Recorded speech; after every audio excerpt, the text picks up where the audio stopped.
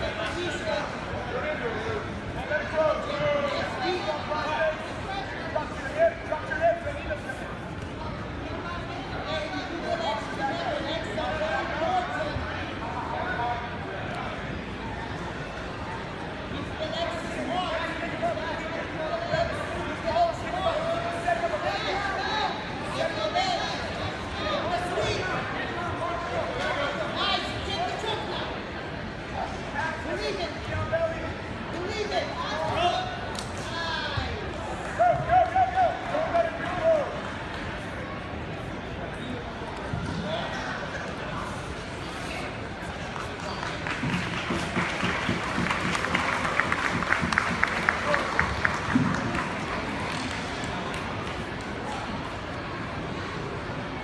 your black belt adult ultra heavy champion from Lovato Jiu-Jitsu, James Puopolo.